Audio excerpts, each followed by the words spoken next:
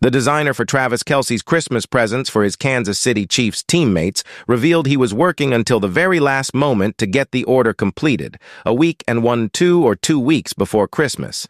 Kelce hit me up and was like, Do we still have enough time? Daniel Patrick told the messenger. I said, Yeah, we can make it happen. We literally had to move heaven and earth to get in. Done in time, Patrick continued.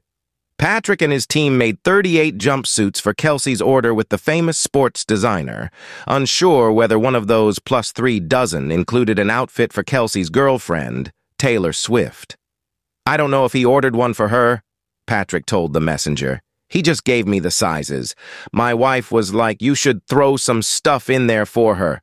I was like, I don't have time.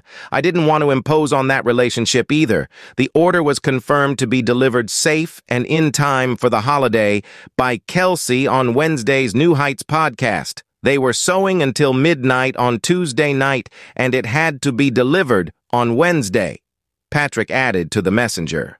I literally folded and tagged bags to put it all together. I wrapped each individual set myself. The jumpsuits came in either black or gray. For Patrick, it's an oversized hoodie and a sweatpant.